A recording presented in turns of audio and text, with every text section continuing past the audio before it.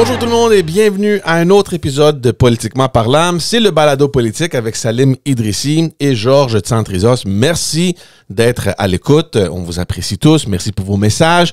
Merci de nous suivre. Pour ceux qui ne l'ont toujours pas fait, allez voir notre chaîne sur YouTube et abonnez-vous.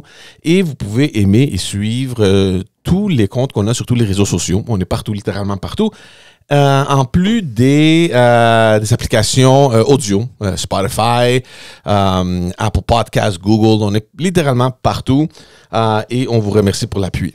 Salim, ça va bien? Ça va super bien et toi? Une, une semaine et une fin de semaine surtout bien occupée. Euh, on, justement, c'est la raison qu'on fait un podcast un peu plus en retard. Normalement, on publie les podcasts euh, les samedis matins. Mais vu qu'il y avait pas mal d'actions, on a dit, garde, on va, on va prendre quelques journées pour voir ce qui se passe, puis on, va, lancer l'épisode un peu plus tard. Donc, euh, c'est ça qu'on fait. Ben oui, exactement. Ben D'ailleurs, on va pouvoir euh, jumeler deux sujets. Euh, le, le premier sur le rapport Cadet-Pratt sur la relance du Parti libéral du Québec, euh, dont on a euh, abondamment parlé sur ce podcast, et qui avait d'ailleurs fait l'objet d'un poca- d'un- d'un d'un- d'un épisode euh, spécial avec euh, la députée euh, Madouanika Cadet. Euh, et puis, euh, bien sûr, il y a eu le Conseil général euh, dans lequel ce, ce rapport a été euh, présenté aux militants du Parti libéral du Québec. Euh, donc voilà, on va pouvoir débuter avec ça.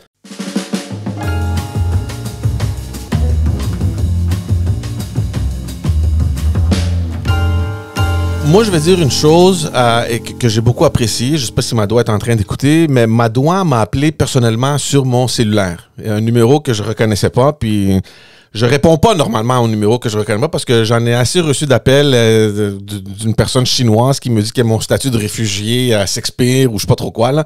Donc, j'ai arrêté de, répondre. Mais j'ai répondu.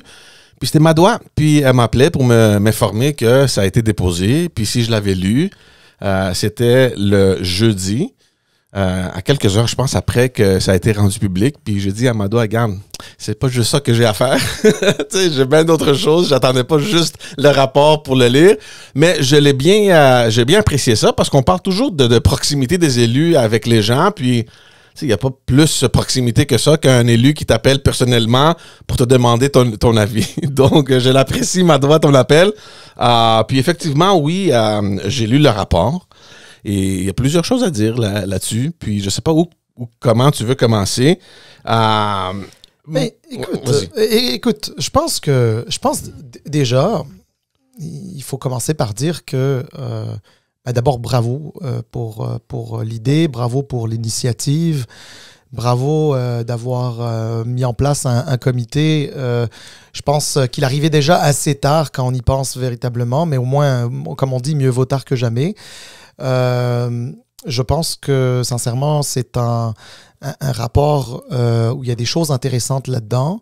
Euh, ça, ça paraît qu'ils se sont quand même creusés euh, les ménages. Euh, ils ont essayé au plus possible de, de, de, de, de- mettre ce qu'ils ont entendu de la part des militants, des gens qu'ils ont consultés, etc.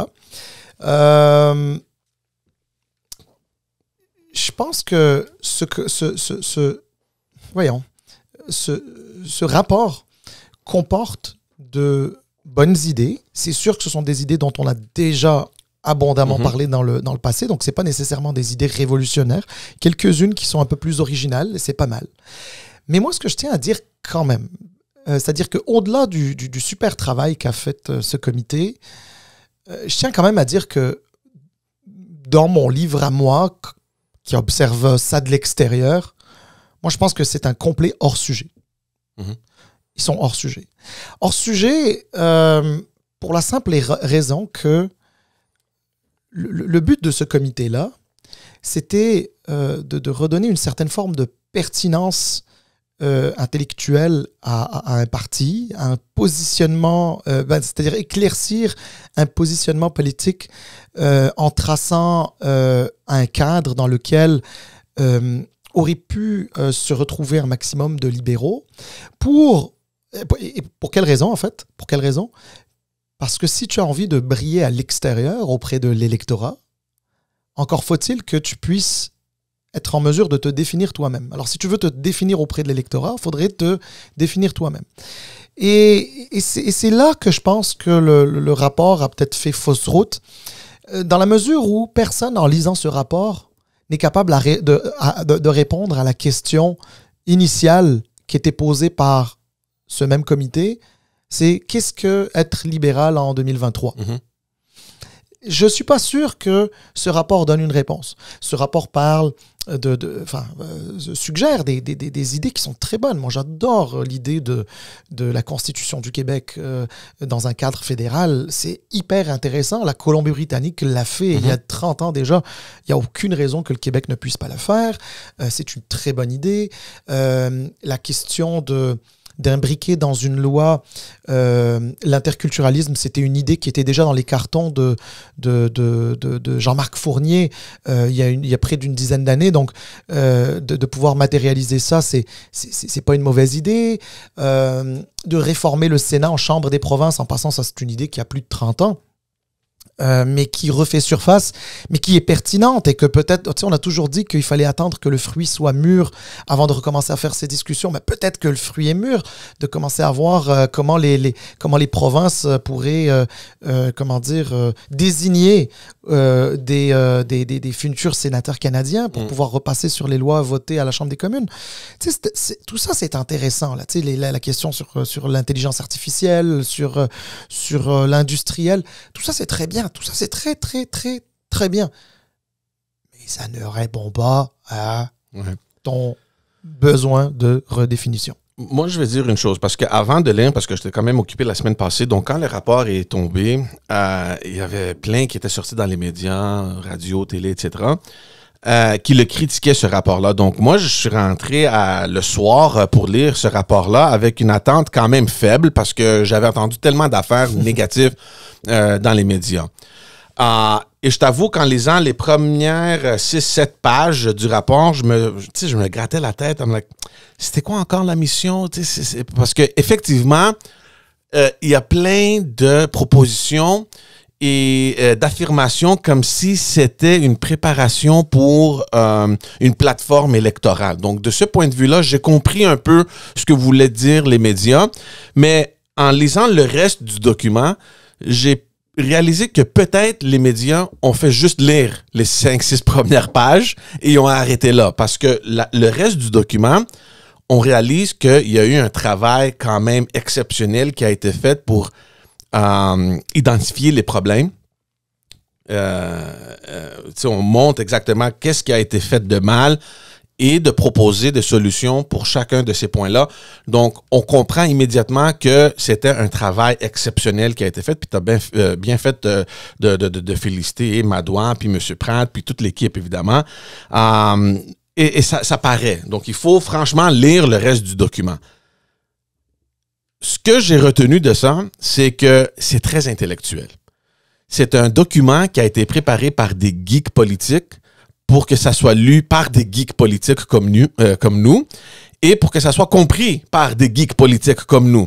Donc là, j'espère que on va élargir un peu tout ce contenu-là pour aller vraiment euh, euh chercher l'électorat moyen, tu comprends? Parce que c'est pas vrai que tu peux prendre ça, puis aller cogner aux portes, puis, t'attendre que les gens vont pouvoir avoir une discussion euh, avec toi sur la réforme du Sénat ou sur la différence entre le, multiculturalisme et l'interculturalisme.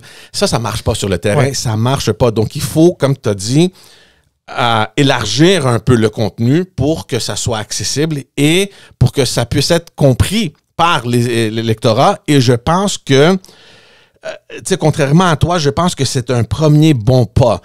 On, cherche toujours, OK, c'est quoi être libéral? Mais ça, c'est, tu sais, on vient ouvrir la porte, puis à partir de là, on va pouvoir aller vraiment identifier les choses et aller connecter avec le monde. Puis je pense, parce que j'étais au, au Conseil général euh, durant la fin de semaine, j'ai vu l'enthousiasme pour une rare fois depuis euh, la dernière euh, campagne ou, la dernière chefferie.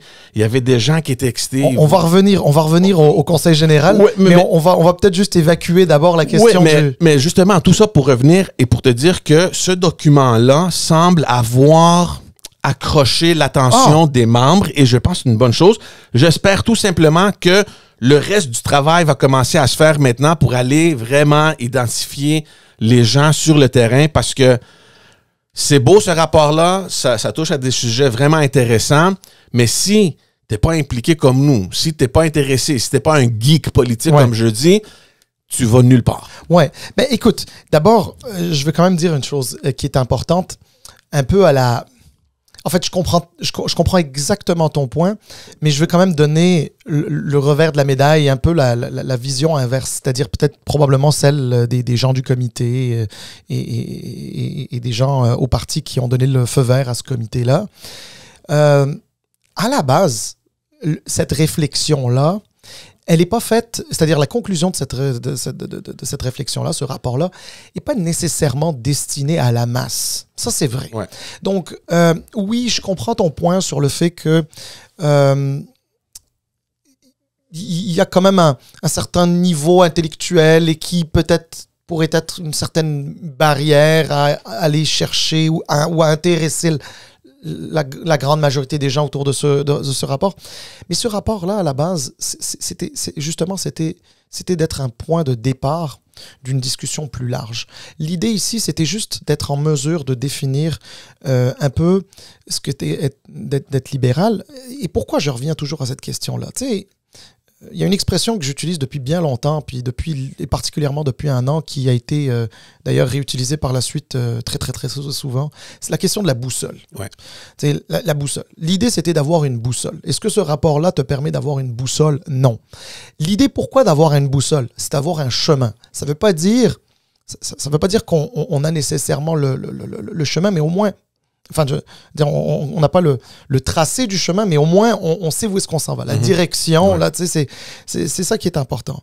Donc l'idée ici, c'était d'être en mesure d'avoir une définition euh, globale dans laquelle tout le monde peut s'entendre euh, à l'intérieur du parti et ensuite donner un le- do- donner au- à la commission politique euh, du, du- du- du Parti libéral du Québec le mandat de décliner euh, cette euh, euh, définition, cette redéfinition en propositions concrètes. Et puis là, euh, tu peux parler de toutes les propositions Ouais. intéressantes qu'il y avait dans ce rapport-là. Donc, C'est- très lourd, hein? It's, it's content heavy, comme on dit en, en- en anglais. Il y, a, il, y a, il y a beaucoup de choses là-dedans. Et moi, j'ai peur qu'on rentre tellement dans les détails puis dans l'intellectuel qu'on va manquer l'essentiel. Et l'essentiel, c'est que et la réalité, parce que moi, j'en ai mangé du terrain, là, tu sais, puis je sais que une un pourcentage négligeable de la population prend le temps de lire les plateformes. Il n'y a personne qui lit les plateformes politiques. Ouais. Donc, il faut vraiment s'assurer que, ce- que l'offre que fait le Parti libéral, on puisse le briser comme en point form. Mais- Tu sais, Qu'est-ce qu'on offre? Les points forts. Tu, tu, mais, tu mais comprends? oui, mais non, mais je comprends, je comprends. Mais tu sais, aujourd'hui, le problème, c'est que d'avoir des idées, tous les partis politiques en ont. Tous les partis politiques ont des idées. Bonnes, mauvaises, qu'importe, là. Tous les partis politiques ont des idées. Ce, qui, ce, que le Parti libéral n'a pas, et c'est le seul parti actuellement n'a pas, c'est une identité. Je te parle pas de, je te parle pas de son passé, etc. Aucun problème là-dessus. C'est pas, c'est son identité et sa pertinence sur l'échiquier politique actuel.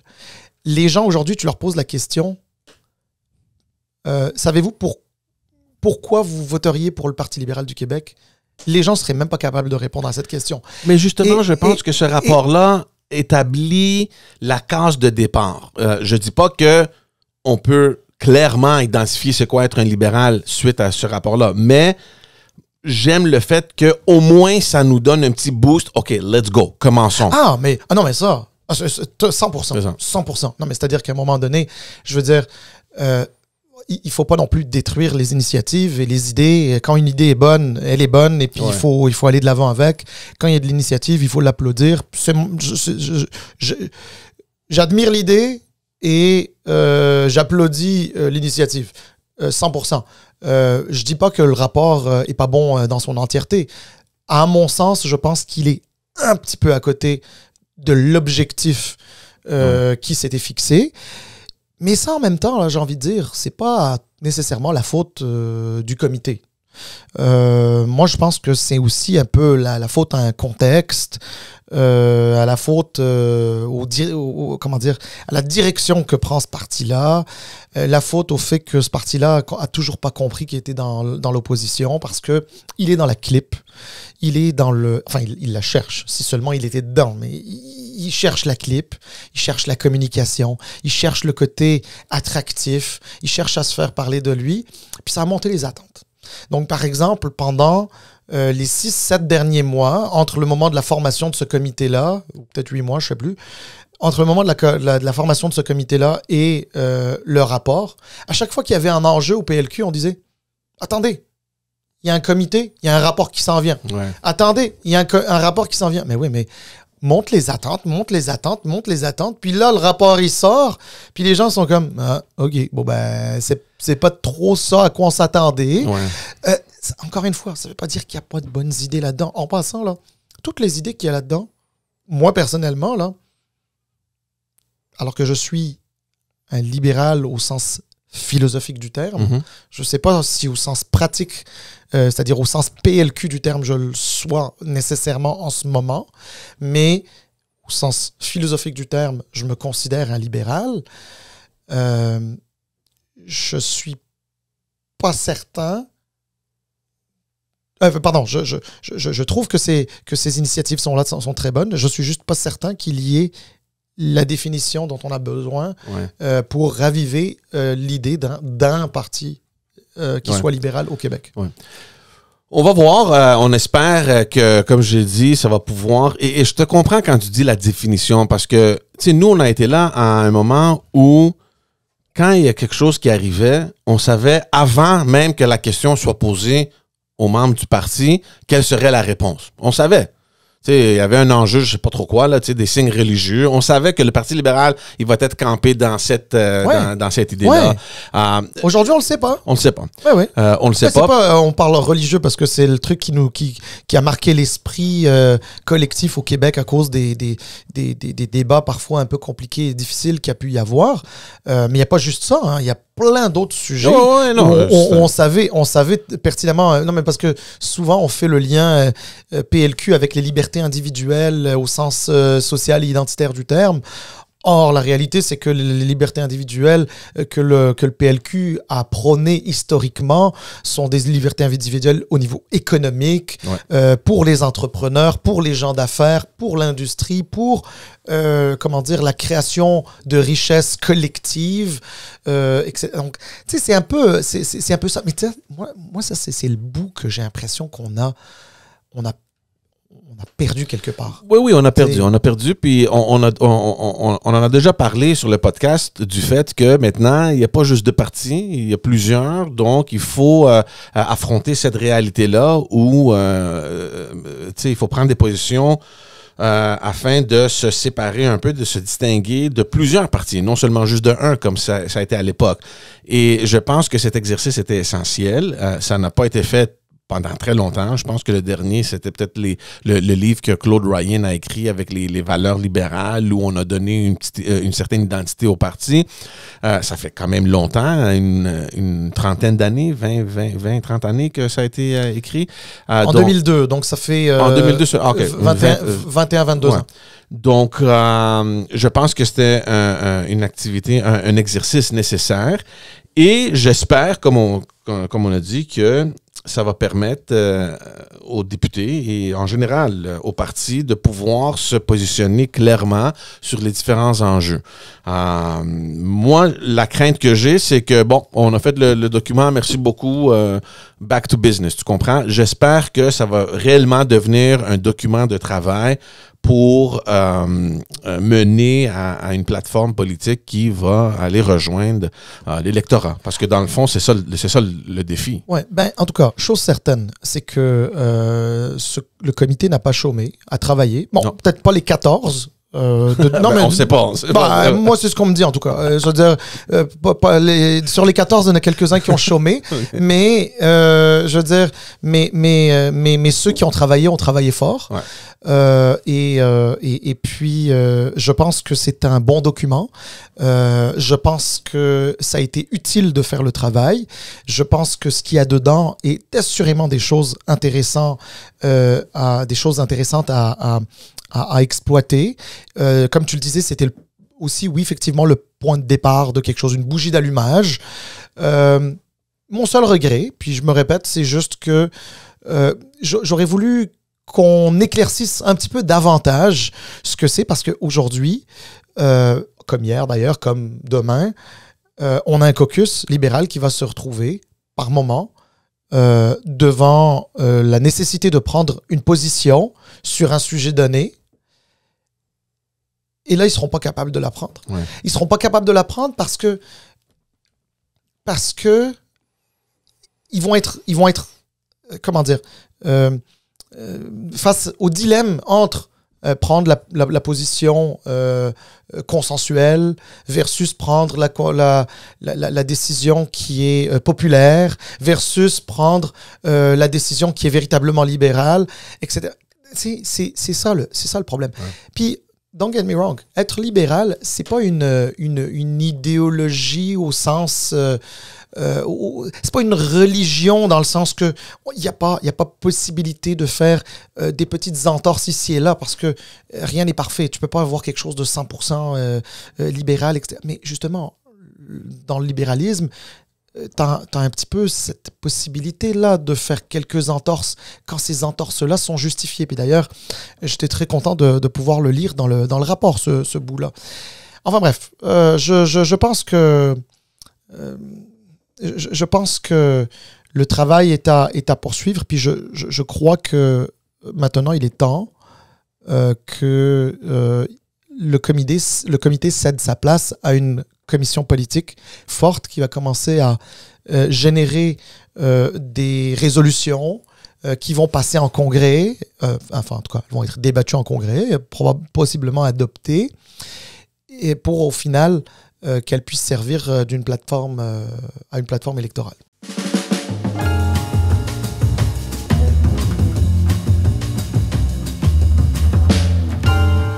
Passons au conseil général qui a eu lieu. Donc, évidemment, le timing était parfait euh, avec le, le dépôt du rapport et tout de suite après le conseil général où on a vu un peu euh, euh, l'enthousiasme des, des, des membres. J'étais là. tu as observé, ouais. J'étais là, euh, comme homme, mais comme observateur aussi, parce qu'on veut le contenu, tu sais, pour le podcast. Puis, euh, pour une rare fois, euh, comme je disais, depuis euh, peut-être la dernière campagne, euh, j'ai vu les gens un peu excités, un peu euh, euh, enthousiastes. Y les gens voient peut-être un chemin. Puis c'est une bonne nouvelle. ok? C'est ce que j'ai aperçu. Euh, on, on- t'étais peut-être pas là, mais j'en ai vu d'autres de- depuis la dernière élection où les gens étaient vraiment, ils avaient l'air vraiment misérables. C'était comme, ah, qu'est-ce qu'on fait? C'était la fin. J'ai vu, on va pas comparer ça à l'époque, là, parce qu'on est loin de ça, mais quand même, il y avait environ 400 personnes qui étaient là. C'était un bon succès pour le Parti libéral du Québec. Il y avait aussi un malaise euh, au Conseil général, puis tous les médias en ont parlé. Puis c'est la question de Fred Beauchemin. C'est sûr qu'avant qu'on aille à Fred Beauchemin, le, le Conseil général, évidemment, c'était aussi le début. euh, euh, pour On la- annonçait les règles. euh, ouais, pour la course à, euh, à la chefferie du parti. Donc, tout le monde, évidemment, attendait euh, avec impatience ce moment-là. Euh, Il y, a des diffé- des- il y a des personnes qui sont campées d'un bord et de l'autre, plus tôt, plus tard, whatever, on va, on va en parler. Mais en plus de tout ce que je viens de dire, là, de tout cet enthousiasme, puis l'excitement des gens, il y avait un malaise qui était aussi très palpable. C'est ça le mot? OK, palpable. Euh, Fred Beauchemin, puis on a discuté au dernier épisode, il a été euh, Suspendu. suspendu du caucus euh, euh, suite à une enquête euh, de d'harcèlement euh, psychologique. Évidemment, on ne sait pas qu'est-ce qui arrive, euh, puis on va pas commenter là-dessus. Évidemment, on va laisser euh, le processus avoir lieu, puis on va voir qu'est-ce qui arrivera à la fin. Mais Fred Beauchemin, il a décidé, comme membre libéral, qu'il avait le droit d'être là, puis il s'est pointé. Puis moi, j'ai aucun problème avec ça. Ah, surtout quand tu penses que tu n'as rien fait de mal, pourquoi te cacher? Tu comprends? Donc, Ouais, Il y a euh, personne. il y a- il y a- ben, Est-ce qu'il a été condamné à quelque chose? Bon, exactement, Non. exactement. Donc, il y a la présomption d'innocence, puis le temps que l'enquête soit faite, tu sais, pourquoi aller te cacher, là, tu sais, pour donner des arguments aux gens? Le gars, il était là avec son équipe, puis bravo pour lui. Sauf que tu es aussi un député. Tu comprends? Donc, et on voyait un peu les gens réagir, puis c'était comme, oh, qu'est-ce qui se passe? À un moment donné, il y avait un membre qui s'est levé, puis il a critiqué le parti parce qu'ils ont sélectionné une date plus tard pour le leadership. Il a dit, mais coudon, c'est quoi ça? Sais, on a Fred Beauchemin qui est prêt. Pourquoi vous l'a- vous l'avez lancé en bas du boss? Puis c'était comme, ouh, awkward. Tout le monde se regardait. Puis ce bout-là, je l'ai trouvé un peu étrange, mais Ben, écoute, regarde, c'est délicat. Puis, tu sais, on, essaye toujours dans les partis politiques, particulièrement au Québec, euh, ailleurs, ailleurs aussi, mais particulièrement au Québec, on essaye toujours d'offrir une image assez lissée. On- on- on s'attrape tous par la main, on s'entend sur tout, tout va bien, on ne se contredit pas, la ligne.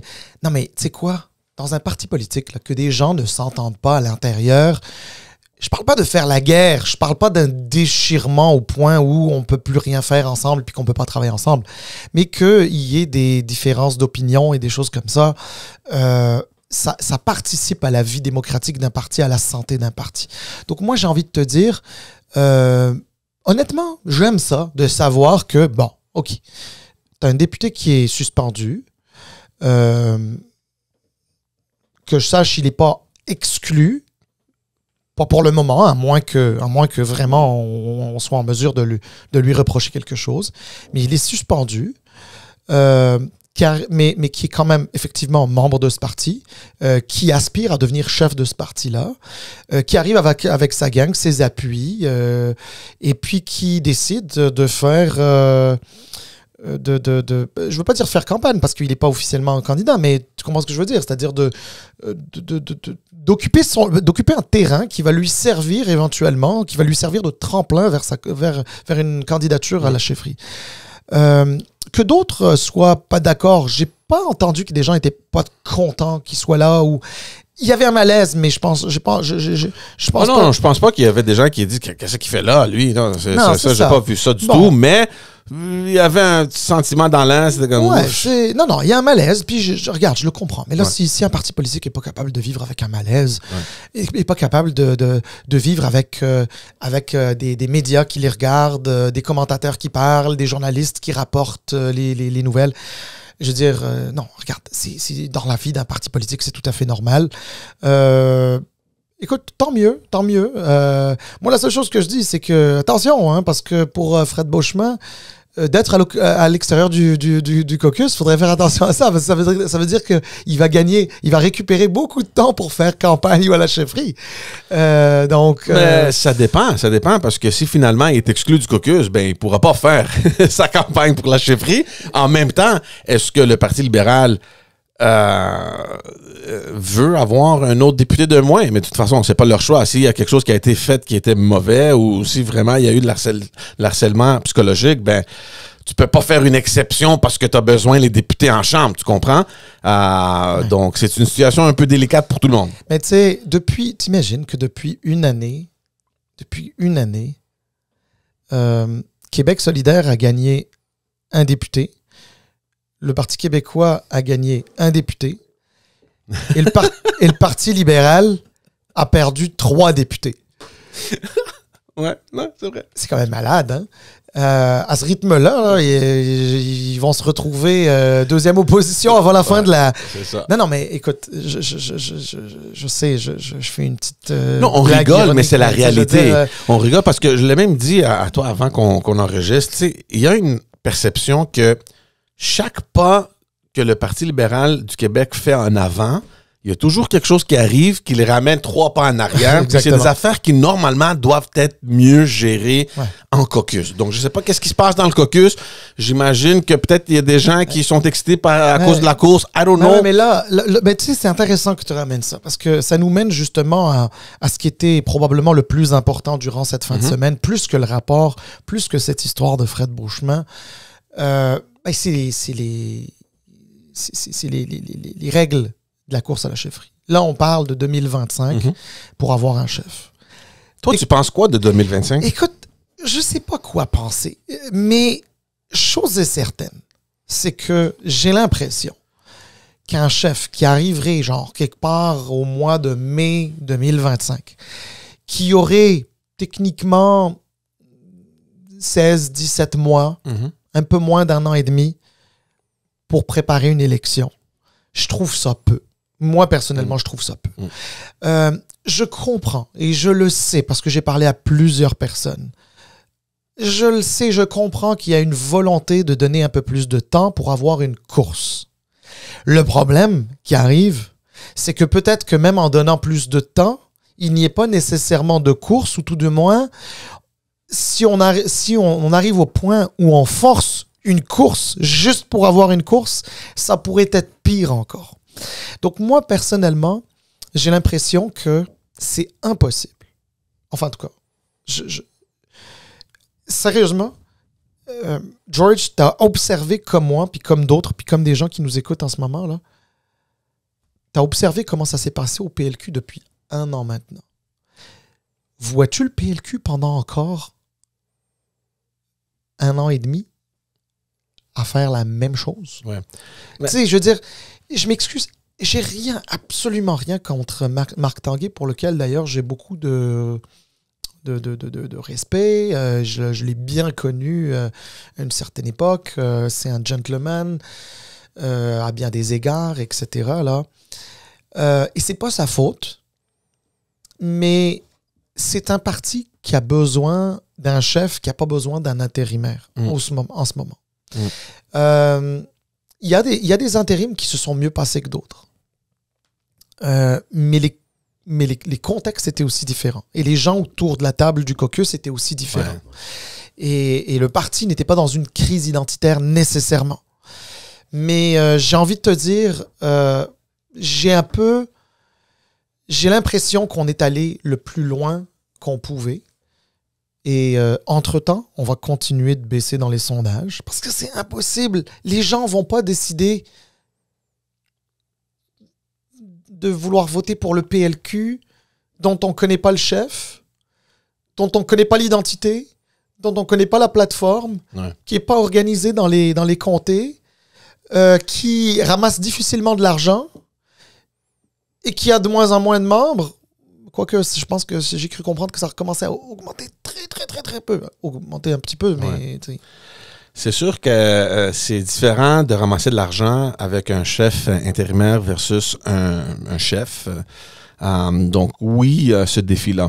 Moi, je vais dire une chose parce que les présidents des associations étaient convoqués à une rencontre pour euh, sais, avoir un peu de, le- de, de perspective. Là. Puis euh, moi, j'étais parmi eux qui voulaient une course plus tôt que plus tard, justement parce que je pense que c'est une question de imaging aussi quand on voit que, et, encore là, je sais pas si Marc nous écoute, là, mais c'est rien contre Marc. C'est juste que quand on regarde les résultats et on voit que euh, ben, on est dans le pourcentage du négligeable, là, de, de, de, de la marge d'erreur, ben, ça presse, à, mon avis.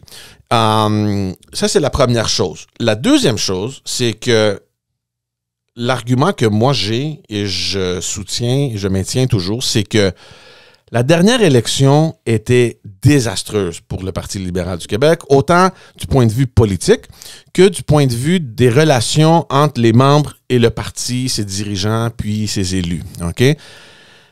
Je crains que un an et demi qui, se laisse pour faire la campagne n'ait pas assez de temps pour le leader de réparer les pots cassés, de faire la tournée, de rassembler les gens, de les mobiliser, de les préparer.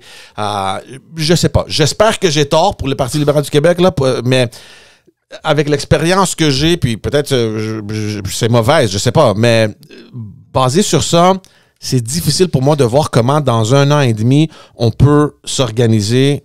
Peut-être que c'est faisable, I don't know. On va voir d'ici là. Non, non, mais Chad, t'as raison. Mais c'est difficile. Donc, pour moi, c'est ça la raison que je voulais 2024 parce que ça laisse un, Ben oui. un énorme euh, timeline devant toi pour Ouais. faire la job correctement. En plus, si tu jumelles ce rapport-là avec le travail, puis tu as quelque chose à aller. Ben oui. Donc, moi, je pense qu'il y a d'autres choses derrière ça que peut-être nous ne connaîtrons jamais. J'ai l'impression que la décision de pousser ça à 2025, peut-être, elle est reliée au fait que soit les, les dirigeants du parti ou les vétérans dans le caucus ne souhaitent pas avoir quelqu'un de l'intérieur. Parce qu'on s'entend que si tu mets la date 2024, puis tu as quelqu'un qui arrive de l'extérieur, ben tu pas de chef dans, dans le Parlement, puis c'est pas une bonne chose, OK? Euh, si tu repousses mais- la date en 2025, ben là, tu peux... euh, Mais je vais aller plus loin encore, George. Là, si, si on va chercher quelqu'un de l'extérieur, et particulièrement, je dis bien particulièrement, si c'est quelqu'un qui a jamais fait de politique, ou, qui a jamais été député, já- été- jamais été ministre, a jamais été au Parlement, comment tu veux que cette personne-là euh, apprenne le métier, critique le gouvernement, euh, fasse de nouvelles propositions, Mhm. donne des orientations, s'assure que l'organisation est en marche, ramasse de l'argent pour l'élection. Euh, bref, comment tu veux que cette personne-là, novice en politique, elle peut être extraordinaire. là? Ça Mhm. peut être quelqu'un, un PDG de, de- de- de- d'une grande euh, firme, etc. Tu sais, on, on a entendu, on sait tous que ça n'arrivera pas. Là, mais tu sais, on avait par exemple entendu le nom de, euh, de, de, euh, qui était à Hydro-Québec, Madame euh, Sophie Brochu, Brochu. par exemple, qui est extraordinaire comme femme, etc. Mais par exemple, qui a jamais fait de politique, même si elle sait, elle a une idée. C'est une autre game. elle- mais c'est ça, c'est une autre game. La, la politique, qu'on le veuille ou non, c'est pas n'importe quel job. Mhm. C'est une job. euh, Il y avait euh, Jean Charest qui disait toujours Politics is about people. Mhm. Puis donc, tu peux être euh, le plus grand PDG de je ne sais pas trop quoi. tu arrives en politique, là, il va falloir que tu t'adaptes à te quelque branches. chose. Et ça, en 18 mois, c'est- compliqué. Et, et, et cette, cette- regarde, moi, moi, je pense aussi que 2024 aurait été une bonne, une bonne chose. Ça aurait pu être euh, le, le- le début de l'automne 2024. Euh, ça aurait laissé deux années. C'est toujours mieux que euh, 16 mois. Mhm. Euh, d'une part.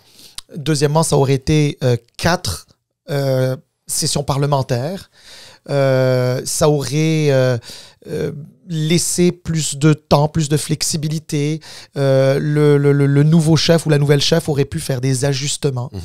Euh, moi, j'ai, honnêtement, j'ai un peu, j'ai un peu de, de- misère avec ça.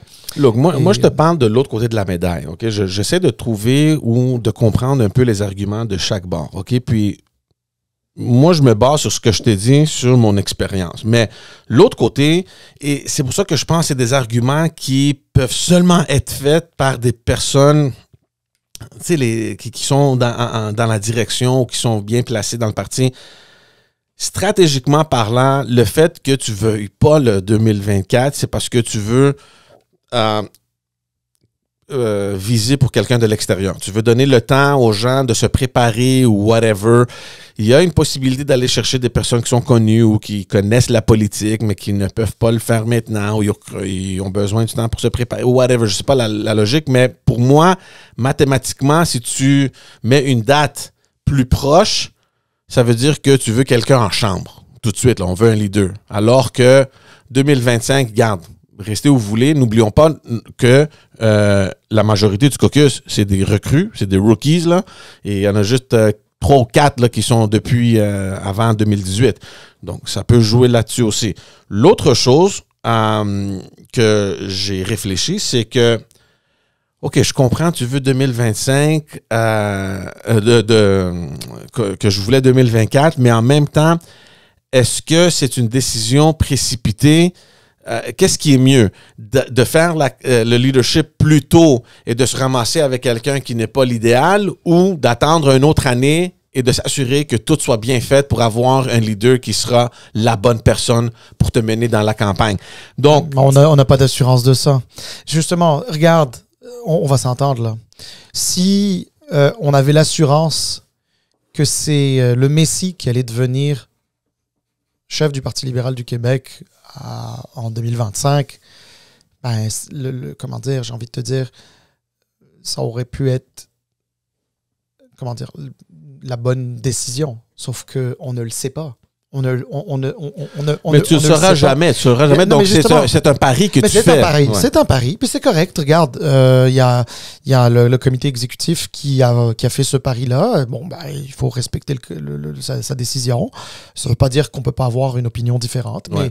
il faut respecter ça. Puis, euh, on, verra, on, verra, on verra bien, mais Look, moi, moi la, seule, la, la seule inquiétude, et je te l'ai dit, puis je l'ai répété, et je vais le répéter, c'est que on comprend, nous, de notre côté, un peu plus comment ça marche, euh, les choses, comment elles sont sur le terrain, la réalité, les choses pragmatiques, là, tu comprends?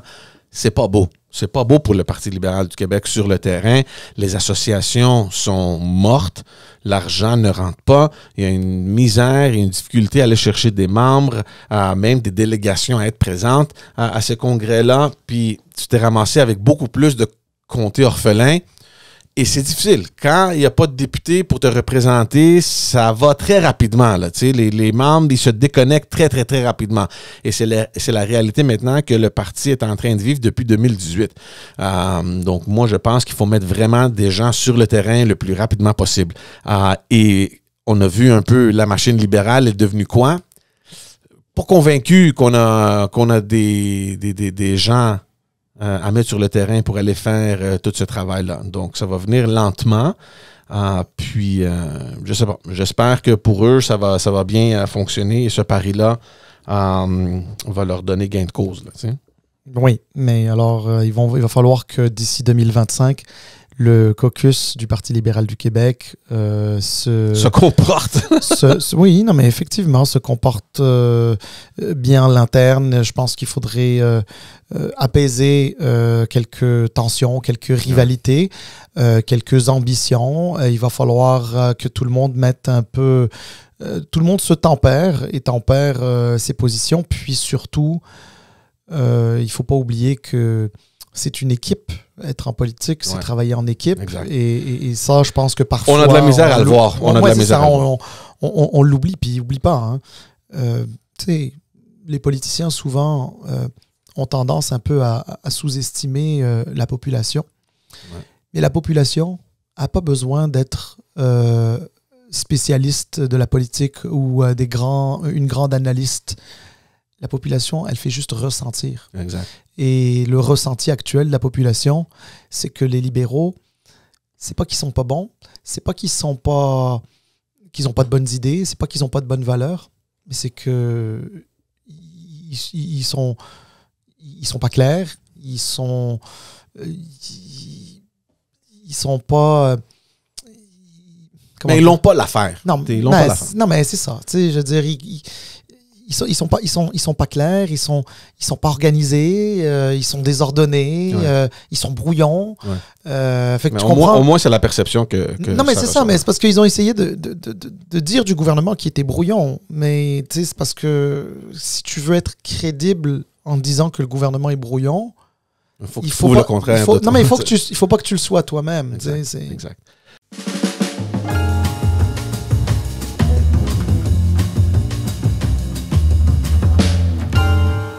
Allons-y parler un peu de, euh, de cette décision euh, du gouvernement euh, qui, en passant, est rentrée un vendredi. Là, Tu sais, on- pour ceux qui connaissent un peu comment fonctionnent les médias, on s'entend que c'était pas une annonce que le gouvernement espérait, espérait prendre un peu euh, d'attention dans les médias. Vous voulez, pas on- lui, voulez pas lui donner de la visibilité. Alors tu choisis le vendredi avant le week-end. exact, exact. Euh, une décision qui vient un peu, moi je dirais, nuire euh, peut-être avec les relations euh, que le gouvernement a déjà avec la communauté anglophone.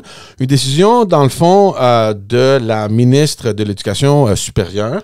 euh, qui a annoncé que les universités euh, anglophones euh, ben, dans le fond, euh, c'est surtout une annonce qui affecte les, euh, les étudiants universitaires euh, non québécois, donc qui viennent de l'extérieur du Québec, ou les étudiants étrangers qui viennent d'autres pays ici.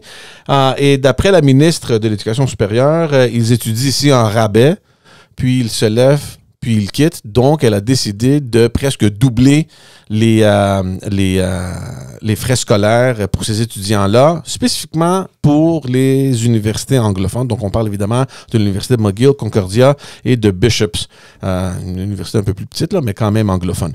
je ne sais pas qu'est-ce que tu en parce que moi, je pense que, surtout pour McGill et Concordia, Bishop, je ne connais pas trop trop, là, sais, c'est des institutions qui font rayonner le Québec. Oui. Et puis, je sais qu'ils amènent beaucoup d'étudiants de l'étranger. Je suis pas convaincu que tous les étudiants quittent après avoir étudié. Euh, surtout, je sais que j'ai lu quelque chose de Concordia qui est sorti dire que la moitié des étudiants étrangers qui viennent à Concordia restent euh, à Montréal. Il y a un programme où l'université trouve des, euh, des coopératives ou des, des, des, des, des, euh, programmes pour les installer au Québec.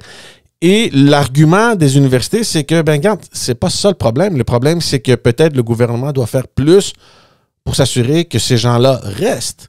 Ouais, mais en fait, le, sujet est plus complexe que ça et euh, les raisons invoquées par le gouvernement du Québec euh, sont, euh, sont légèrement plus nuancées et, différentes de ce que tu dis, dans le sens que ici, c'était pas une question de il reste, il reste pas, ils viennent étudier arabe, pas arabe, c'était pas trop ça. La réalité, c'est que il faut comprendre que le système d'enseignement supérieur au Québec est basée sur euh, une méthode de calcul. Et euh, la méthode de calcul qu'avait mis en place euh, le gouvernement libéral en 2018 avant de perdre les élections permettait aux universités de, de fixer ou de déterminer les frais de scolarité euh, pour les étudiants internationaux.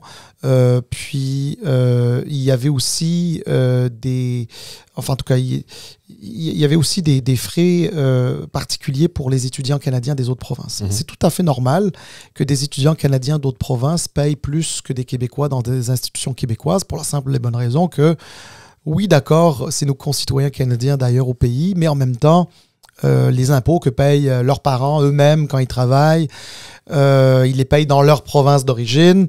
Et donc, euh, quelque part, ce serait injuste que ce soit le contribuable québécois qui assume euh, une bonne partie de, ce que coûte leur éducation au Québec.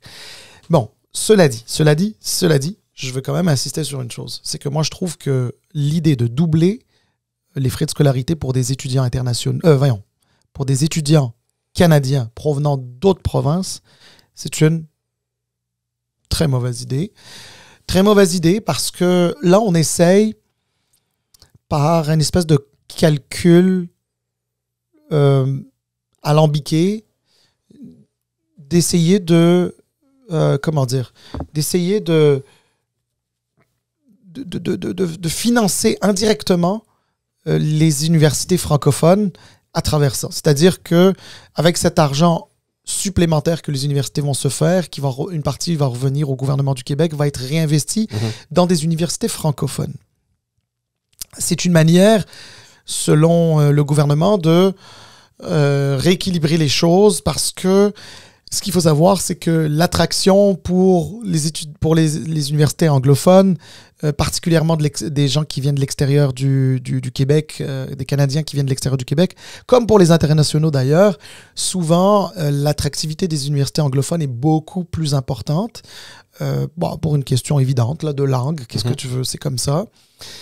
Et on essaye de retrouver un équilibre, un certain équilibre là-dedans j'ai beaucoup de misère avec cette façon-là. C'est parce que euh, pour essayer de mieux financer les universités francophones, on, est en train de, euh, comment dire, nuire aux universités anglophones. Mm. Et c'est très dommage. D'abord, un, parce que les universités anglophones, quand bien même elles soient anglophones, elles sont très légitimes ici au Québec. Mm-hmm. Là, il y a pas quelqu'un qui va venir me dire que des universités anglophones, historiquement, n'ont pas de légitimité au Québec. Euh, je m'excuse, mais l'Université McGill, par exemple, pour citer juste elle, elle a plus de 200 ans. Mhm. Donc, euh, c'est une université québécoise, même si elle est d'expression anglaise. Ouais. Euh, c'est une université qui apporte énormément au Québec. Forme des Québécois extraordinaires. Oui, forme d'autres, c'est-à-dire des gens, des internationaux, et forme aussi des Canadiens euh, qui viennent d'autres provinces. Mais savez-vous quoi? Euh, ça sert aussi au rayonnement du Québec. Mhm. Ça sert au rayonnement du. Québec. Tu sais, quand, quand tu as des gens qui viennent de Chine, de l'Inde, ou qui viennent euh, tout simplement d'ailleurs au Canada, de Vancouver, de Toronto, de Calgary, de Halifax, mais qui sont fiers d'avoir étudié à McGill, une institution située à Montréal, au Québec, une institution québécoise, même si elle est de langue anglaise, ça fait une publicité incroyable. C'est des gens aussi qui ramènent beaucoup d'argent. D'abord parce qu'ils payent, euh, de- ils payent des, euh, ils payent des programmes, ils les payent très cher. Euh, ils payent évidemment des, des loyers, même si c'est controversé en cette période. Ils payent des, comment on va dire ça, des taxes. aussi ici à la consommation. Montréal rayonne Mhm. et Montréal fait rayonner le Québec aussi et ils font partie de ça. Alors franchement, c'est une décision qui est, qui est, qui est dommageable. Je, je, pense, euh, bien honnêtement, bien humblement, même si j'ai pas fait l'ex- l'ex- le- le- l'exercice moi-même, mais en même temps, c'est pas à moi de le faire, que euh, il y avait d'autres façons de réduire l'écart de financement entre les universités anglophones et francophones euh, que de- d'essayer de, nuire aux anglophones. Et, et pourquoi je dis ça, puis je te redonne la parole, George? Parce que la différence de financement, c'est pas que Québec finance plus les anglophones que les, ang- que, que les francophones. C'est pas ça, c'est pas ça du tout. C'est que la formule de financement qui est en place, ben, comme elle permet aux universités anglophones de, ben, en fait, aux universités de déterminer leur, leur, leur, leur, leurs frais de scolarité pour des étrangers notamment, eh ben, ils les, les- les universités anglophones sont tellement en demande parce que c'est pas juste des francophones qui les demandent, c'est des gens de partout dans le monde. Ouais. Il suffit juste pour eux de parler anglais. Euh, que qu'importe le, le, le, le, le prix qu'ils fixent, il y a de la demande. Ouais. Et cet argent-là, les universités se, mettaient dans les poches. Sauf que les universités francophones, qui sont pas moins bonnes, pas moins, euh, euh, pas, pas moins, euh, comment dire, pertinentes, pas moins, et qu'elles sont tout aussi bonnes, tout aussi légitimes. Enfin bref, elles sont extraordinaires. C'est l'Université de Montréal, HEC, enfin, bref, tout ça, Polytechnique. Polytechnique, c'est extraordinaire. Mhm. Comme, euh, tu sais, c'est c'est francophone. La- la- le seul problème, c'est que ils peuvent pas fixer les mêmes euh, euh, frais de scolarité parce qu'ils risqueraient d'avoir moins. Euh, C'est-à-dire qu'ils se mettraient... Parce que le bassin de francophones est plus petit que le bassin anglophone, ou tout du moins le bassin mondial qui utilise l'anglais pour Ouais. étudier. Et, c'est là, et c'est c'est là qui est, que, que c'est problématique. Moi, quand, j'ai entendu ça, initialement, je me suis posé la question, mais c'est quoi les options que tu laisses? Parce que quand tu dis à, un- à un élève, à un étudiant, soit euh, ailleurs du Canada ou à l'international, que bon, mais tu veux étudier à Montréal, euh, voici mon cher tes options. Soit tu vas dans une université anglophone puis tu payes double le prix, ou soit tu étudies en français. C'est sûr là, que s'il ne veut pas payer l'argent, il connaît pas le français, donc c'est sûr qu'il va pas aller à l'université francophone. Il va juste se tourner de, il va juste se tourner puis partir puis aller ailleurs. Ça c'est une clientèle qu'on va perdre au Québec, à Montréal euh, surtout. Euh, et Eh, Mais il faut parler de Bishop. Il faut parler de Bishop parce que Bishop, c'est la seule université anglophone euh, en région, Mhm, euh, située à Lennoxville, à quelques minutes seulement de Sherbrooke. mhm. Euh, dans les cantons de l'Est, dans laquelle euh, historiquement euh, existent des, des, des minorités anglophones très bien établies, québécoises comme jamais. Mais je pense Et- que Bishop, à moins que je me trompe, je suis désolé pour t'interrompre, mais ils ont des attentes avec les universités, de, avec l'université de Sherbrooke. Euh, ils travaillent ensemble ces ils ont- universités-là. Mais en fait, Bishop travaille avec des universités d'ailleurs partout en Amérique du Nord, même des petites universités américaines. Euh, et, et d'ailleurs, euh, il y a très souvent des Américains qui viennent étudier à l'université Bishop. Mm. Puis oui, il y a des Canadiens d'autres provinces qui viennent à l'université Bishop. Euh, puis c'est très important pour l'univers- l'université Bishop. Puis cette façon de faire, qui va avoir des répercussions sur le financement de l'université Bishop, ben pourrait, en fait, c'est simple. Il y a certains programmes de l'université Bishop qui vont fermer parce qu'il n'y aura pas assez d'étudiants ou ils n'auront pas assez d'argent pour les garder Mm. ouverts. Ouais. L'université Bishop pourrait, à terme, euh, avoir même des problèmes de, de- de survie. Et j'exagère pas. Mhm. J'exagère pas. Alors, très sincèrement, euh, c'est sincèrement une- une- une idée qui est un peu particulière. Je comprends absolument, je comprends absolument le besoin du gouvernement de s'assurer que les universités francophones euh, puissent être euh, financées adéquatement euh, et que justement elles soient en, mesure euh, de, de- de- faire concurrence, de compétitionner avec les universités euh, anglophones auprès des étudiants canadiens des autres provinces, voire même des étudiants étrangers. Bref, de trouver une manière de combler ça parce que c'est un fait, c'est la faute de personne, mais c'est un fait. Les universités anglophones, euh, euh, c'est un plus gros bassin de personnes va- Mhm. qu'on va chercher. Mhm. Et, et forcément, comme la demande est plus forte, alors tu te permets de mettre des prix, c'est-à-dire des frais de scolarité plus élevés Ouais. et qui viennent contribuer à ton financement.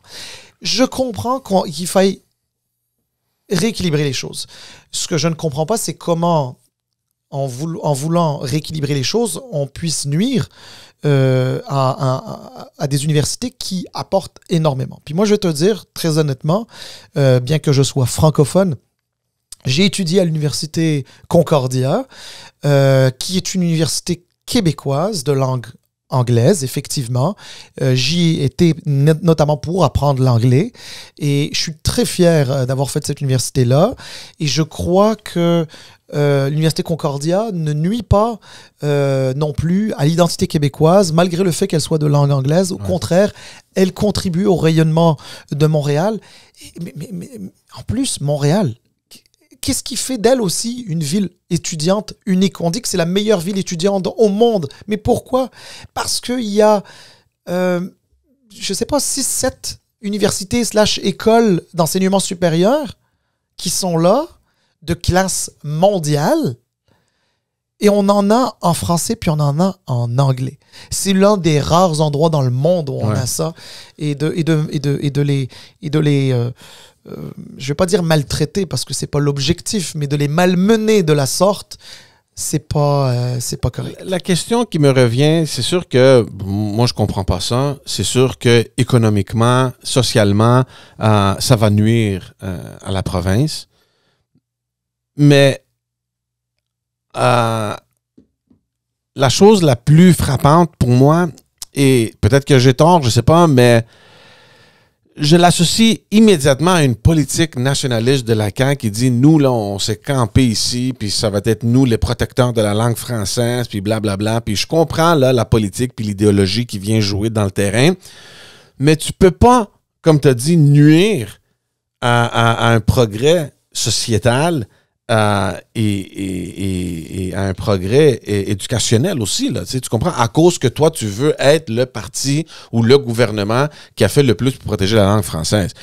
Euh, tu peux pas mélanger les deux. Honnêtement, sincèrement, je, vais être honnête avec toi. Je crois que euh, le rééquilibre entre université francophone et université anglophone euh, est nécessaire et je pense que n'importe quel parti politique s'y serait attaqué. Sauf que encore une fois, s'attaquer à ce déséquilibre-là, c'est pas en, en- en- nuisant à quelqu'un, mais c'est plutôt en euh, essayant de régler le problème. Donc, tu n'essayes pas de régler le problème en en créant un autre. C'est ça Mm. que j'essaye de dire. Euh, maintenant, là où je te rejoins un petit peu, c'est que oui, le constat initial, c'est celui de rééquilibrer les choses entre université francophone et université anglophone. Mais c'est sûr que oui, ça a été enrobé d'une sauce nationaliste Mm. euh, en lien avec le français, qui, à mon avis, n'a- n'avait pas sa place. Ouais. Parce que c'est pas vrai que le fait de recevoir des étudiants canadiens d'une autre province euh, qui étudient en anglais et qui d'ailleurs, pour certains, retournent effectivement euh, dans, leur, dans, leur, dans leur province d'origine. Euh, c'est pas une question, on n'est pas en train de nuire aux Français comme ça. Mm. Et, euh, et, et puis, euh, le français, il faut le promouvoir. Le français, il faut, euh, il faut faire en sorte que ça attire. Sauf que ce genre de décision, ça donne l'impression que les francophones et ceux qui veulent défendre le français sont comme recroquevillés sur eux-mêmes, ils sont fermés. Et, ça envoie un mauvais signal. La réalité, c'est que il y a, il y a des manières aussi d'attirer des Canadiens d'autres provinces pour venir étudier en français. Il y en a. D'abord, il y a des francophones hors, Can- hors Québec Hors Québec, ouais. qui pourraient être intéressés par venir euh, étudier dans, dans des universités francophones. C'est déjà le cas, mais ça pourrait être encore plus le cas. Euh, puis, euh, écoute, il y a des étudiants inter- internationaux qui apprennent le français pour étudier en français. Il y a des étudiants internationaux qui apprennent l'anglais pour étudier en anglais. Ben, Est-ce qu'on pourrait avoir des étudiants canadiens anglophones qui apprennent le français pour étudier en français? C'est possible. Est-ce qu'on est qu'on a est-ce qu'on s'est jamais penché sur la question euh, au Québec? Non, parce que on fait euh, bon, à mon avis, je pense que on s'isole un peu. On est on, on, on- on n'essaye jamais de d'améliorer les ponts avec le reste du Canada. Puis je trouve ça un peu euh, dommage. Mais, mais là, c'est quoi l'option maintenant pour ces universités-là? Qu'est-ce qu'ils vont faire? Parce que ça, ça commence déjà euh, en 2024, l'année prochaine. Oui, c'est ce que j'ai cru comprendre. Qu'est-ce qu'elles vont faire? Ben, D'abord, un, la réalité, c'est qu'elles ne elles pourront pas faire grand-chose pour la simple et bonne raison que euh, une décision gouvernementale, ça va être une décision gouvernementale, ça va être un, un diktat, ça va, être, ça va leur être dicté, ça va leur, leur être imposé. Euh, ça va faire mal, à, tant à McGill qu'à Concordia, et ça va faire encore plus mal à, Bishop. Euh, McGill est quand même bien organisé comme université, capable d'aller euh, se faire financer par des dons qui viennent d'ailleurs de partout dans le monde. D'ailleurs, je rappelle que ces étudiants internationaux puis ces étudiants canadiens hors Québec qui retournent chez eux envoient de l'argent à McGill, qui est une, université anglophone, pardon, québécoise, d'expression anglaise, effectivement, anglophone. Euh, donc, c'est de l'argent qui se retrouve au Québec pour des projets euh, énormissimes ici au Québec, avec des projets d'infrastructure énormes comme celui du Royal Victoria, Mhm. de l'ancien hôpital Royal Victoria, et comme d'autres euh, projets d'infrastructure qui permettent à McGill de demeurer parmi les meilleures universités, pas juste en Amérique du Nord, mais dans le monde. Mhm. Et, et- et donc, euh, je je, je, je sais pas ce qu'elles vont ce qu'ils qu'ils vont faire. C'est sûr que j'ai moins peur pour McGill et, Concordia euh, que pour Bishop, mais McGill et Concordia vont aussi euh, avoir un gros enjeu. Ça sera intéressant de voir comment ça va se développer, surtout dans l'Assemblée nationale du Québec, avec les oppositions et les idéologies des autres partis. On va mettre fin à l'épisode. Euh, chers amis, merci beaucoup euh, de nous suivre, de nous avoir écoutés. Merci pour vos messages. Continuez, on les lit, puis on vous remercie pour ça. Euh, une petite faveur, allez vous abonner sur notre chaîne YouTube et sur toutes les autres plateformes de, de, de- de Et- réseaux sociaux. Et n'hésitez pas à partager aussi sur vos réseaux sociaux euh, les, euh, les, épisodes. Euh, nous savons que vous êtes nombreux à nous écouter et d'ailleurs on l'apprécie et, à mon tour aussi de vous remercier de ça. Et, mais, je pense que vous pourriez également, lorsque vous aimez et vous souhaitez nous soutenir et, nous aider, c'est aussi de partager ces, ces épisodes-là sur vos réseaux sociaux, sur Twitter, sur Facebook, sur, sur Instagram et sur toutes les plateformes possibles. Merci beaucoup tout le monde et on se voit euh, dans le prochain épisode. Bye. Ciao. Bye bye.